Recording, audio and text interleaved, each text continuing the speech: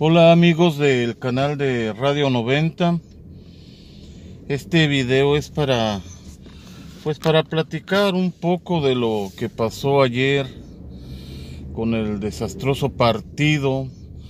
Me quise quedar al margen del tema, pero de verdad es, es imposible no, no expresar la, la frustración que a veces sentimos de ver cómo mundial con mundial se juega con nosotros, ¿verdad? Con, con el público, con, con toda una afición, un país, incluso más allá del país, gente que, estamos en otros países y seguimos apoyando a, la selección, juegue quien juegue, la dirija quien la dirija, ¿verdad? Pero lo de ayer sí ya fue un, pues no sé, un acabose. Yo estuve al borde de, la histeria, estuve, quise hacer el video ayer, pero iba a decir tantas estupideces.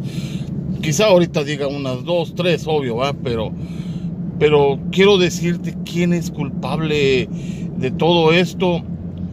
Hay seis personas culpables y yo te las voy a decir. Somos yo, tú, él, ellos nosotros y ustedes. Esas son las personas.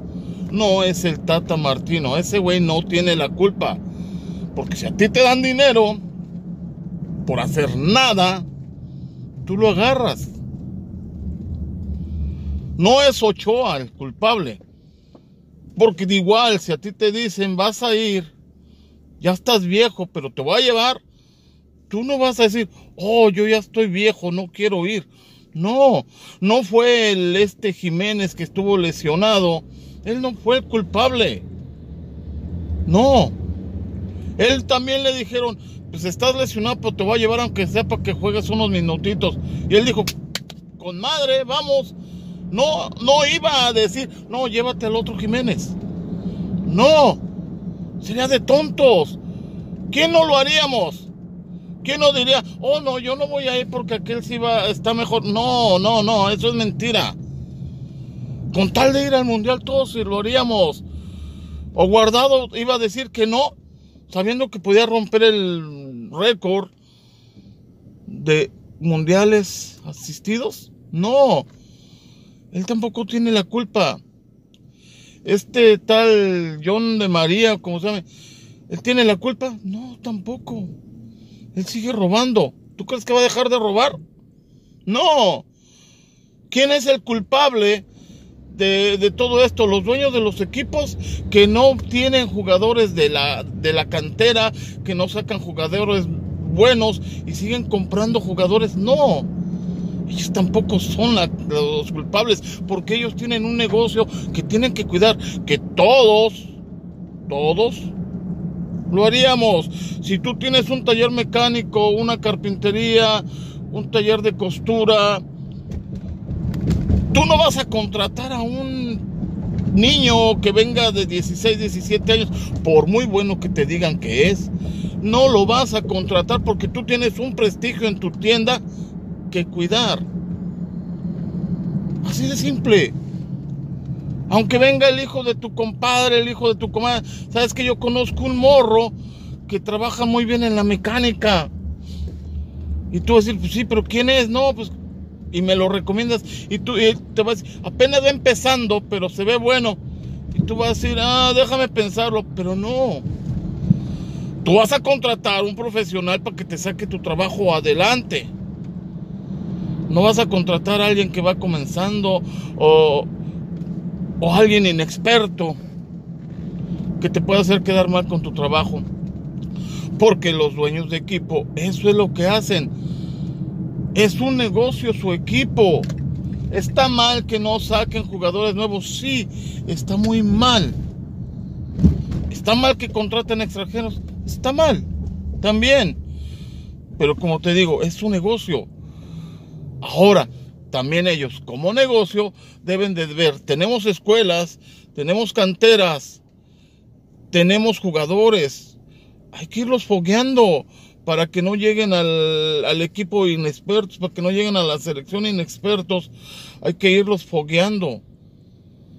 Pero no lo hacen. Y no lo hacen porque desgraciadamente el fútbol mexicano es, es un deporte mediático en el de que quieren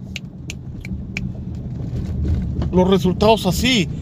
No, no va a venir nada a decir, mira, te voy a dar una cantera de jugadores y de aquí a seis años quiero que me hagas campeones a este equipo. Es imposible. Y sobre todo con la carrera de títulos que trae América y Chivas, de que quién trae más títulos. Pachuca que ya se metió a esa pelea de, por, ver quién trae más títulos. Lo que les importa son ganar títulos, no formar jugadores. Eso es lo que les interesa. ¿Son culpables? Sí. Son culpables de tener al este director, perdón, al al director de la selección, no sé cómo se llama, el que dirige en la selección. ¿Son culpables de elegir al dichoso Tata Martino? Sí, también. Todo eso son culpables. Pero, ¿quién tiene la culpa en realidad? Nosotros. Tú, yo. Como aficionados tenemos la culpa. ¿Por qué? Porque sigues comprando el producto. Si hay una, un restaurante que te da mal comida, no sigues yendo a ese restaurante a comprar comida. Si hay una zapatería que cada que vas te vienen los zapatos ya descosidos, rotos, defectuosos, no sigues yendo a esa zapatería. Si hay una tienda de ropa que la ropa viene manchada, arrugada, los tamaños no vienen normales, no sigues yendo a esa tienda de ropa. Pero la selección viene como viene y seguimos adquiriéndola. Seguimos comprando el producto. Seguimos asistiendo a sus partidos. Si de veras nos interesa la selección, no asistas a los partidos, no veas el partido por televisión, no contrates el servicio de cable para ver este el partido, no lo hagas. Eso es lo que les va a doler a ellos. Y no solo la selección, también los equipos. No hay que ver los partidos de la América, no hay que ver los partidos. Es lo que les va a doler su bolsillo. Eso es lo que les va a doler. A ellos no les duele que, salgas, como ahorita en este video, a despotricar contra ellos diciendo, ah, jugaron mal, son unos tontos, eh, los pinches equipos valen madre porque no tienen cantera, eh, Ocho es un pendejo, Guardado ya está viejo, el otro pendejo estaba lesionado, Tata Martínez es un... A ellos no les importa. ¿Sabes qué? A ellos les entra por aquí, les sale por acá. ¿Por qué? Porque se llevaron su feria. El Tata Martino se llevó 8 millones de dólares por este desastre. Y te voy a decir, como te dije al principio, él no tiene la culpa. Si tú a mí vienes y me dices, te voy a dar 8 millones de dólares por dirigir la selección mexicana, yo no soy director técnico, pero me dicen, te los voy a dar, tú la diriges, dámelos al final de los cuatro años o del otro mundial que venga, me va a decir, el Oscar es un pendejo, es un estúpido, es un idiota y solo... Me vale madres. Porque yo ya me llevé mis 8 millones de dólares a mi casa. ¿Y tú qué hiciste? Tú compraste tu boletito, ahorraste cuatro años para ir al mundial, pagaste tu cable para ver el partido. bueno, ahora se paga el streaming por ver el partido en lugares donde no se ve. Tú pagaste. Yo me llevé el dinero. ¿A quién le interesa lo que tú digas? Y sabes qué, dentro de cuatro años vas a hacer lo mismo. Dentro de cuatro años vas a seguir viendo los partidos de la selección. Así te den una prenda rota, vas a seguir yendo a esa tienda. Así te den un zapato defectuoso, vas a seguir yendo a esa, a esa zapatería.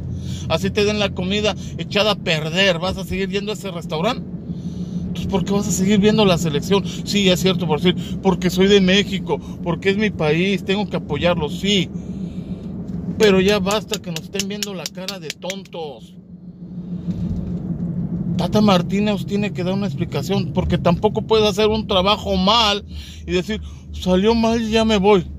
No. No, no, no está bien. Y de verdad ya, ya, ya estamos hasta el gorro de esto. Ya no se puede. año con año con año y siempre a la otra, a la otra. Este es el mundial bueno, es la mejor selección. También los comentaristas de deportes tienen la culpa. ¿Por qué? Porque inflan mucho a un jugador.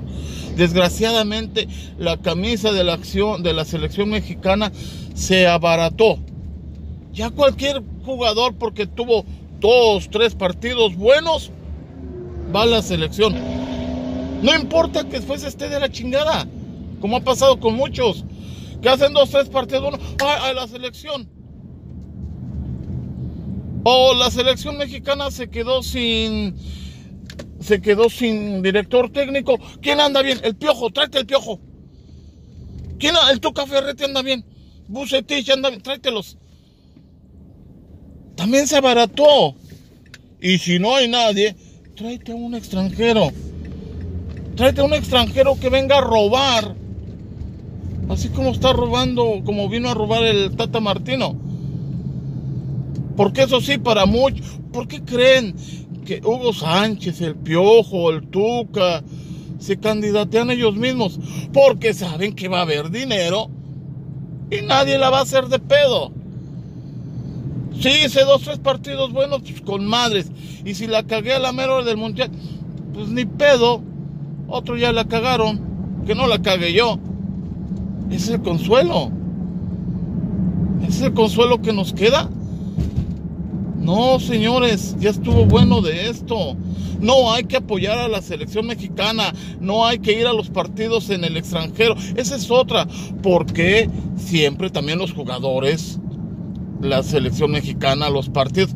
¿Por qué hacen los partidos en Estados Unidos? Por el dinero, porque vienen a hacer comerciales, vienen a hacer más ricas las arcas de la Federación de Fútbol.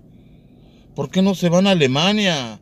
¿Por qué no hacen giras por Europa para, para, para jugar y foguearse de verdad con jugadores que estén en, en la en la Premier con jugadores de alto nivel. No, vienen aquí a Estados Unidos porque saben que van a hacer dinero y uno como tonto va y paga los 60, 70, 80, hasta 200 dólares que vale un boleto, incluido el parking, que ahora que vinieron aquí a la ciudad de Los Ángeles, hasta 100 dólares de un estacionamiento, más el boleto, pero como te dije, ellos no tienen la culpa. La culpa la tenemos nosotros. Nosotros que vamos a ver los pinches partidos. Nosotros que vamos a llenar los pinches estadios. Nosotros que le seguimos pagando al que nos da mala comida. Ellos no tienen la culpa. Ellos van a seguir haciéndolo año con año, mundial con mundial. Siempre lo van a seguir haciendo porque no hay quien... Y, no van a decir, ¿para qué mejoras si los pendejos siguen comprando el producto? ¿Para qué le metes mejor calidad si los pendejos van a seguir comprando el producto? Entonces nosotros somos los que tenemos la culpa, señores, por estar consumiendo ese material echado a perder. Nosotros somos los que lo estamos haciendo. ¿Y quién es qué director? Yo no sé para qué buscan un director técnico. Si en México tenemos 60 millones de directores técnicos. Somos expertos en decir, ¿por qué no trajo a este? ¿Por qué no trajo a aquel? ¿Por qué no metió a este? Este cambio lo hizo mal. También nosotros somos directores técnicos. También nosotros decimos a quién debió llevar. También nosotros hacemos nuestra lista de quién debió llevar. Este portero, ¿por qué lo llevó? Este portero, yo hubiera llevado a este portero, yo hubiera llevado a este delantero. También nosotros. Pero la diferencia es que nosotros no ganamos los 8 millones que ganó ese güey. Y ahora para finalizar, a los mexicanos nos gustan los, los consuelos pendejos, los consuelos tontos. Y si quieres un consuelo, pues nos pasó lo mismo que Alemania. Alemania ganó, pero también quedó fuera del mundial en el último partido. Así de fácil. ¿Quieres un consuelo para Ochoa? Por lo menos Ochoa no se comió los 10 goles que se comió un solo portero en este mundial. Ahí se las dejo. Gracias.